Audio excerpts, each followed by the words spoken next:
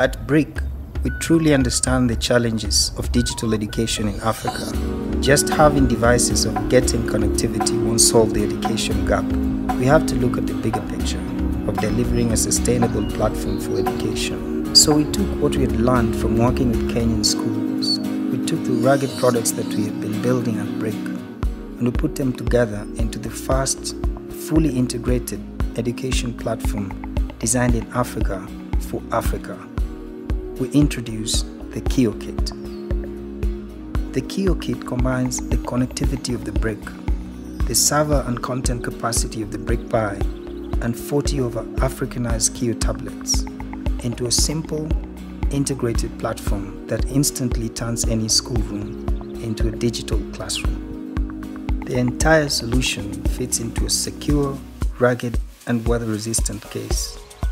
To keep the setup simple, the Kio kit only has one cable its power cord.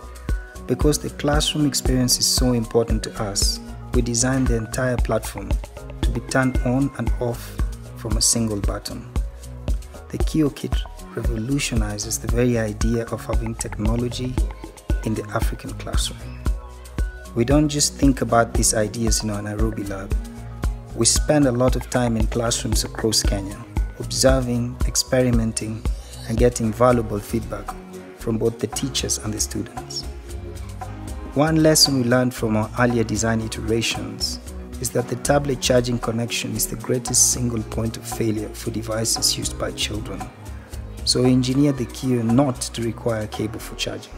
The Kio kit includes the first practical use of wireless charging for education tablets, where the student simply drops their Kio into the kit and it begins charging. Another thing we observed in the classrooms was the teacher's challenge in describing how to put on the headphones correctly. So we color coordinated the earpieces to make giving instructions even easier. A common issue faced by schools in Africa is power interruptions.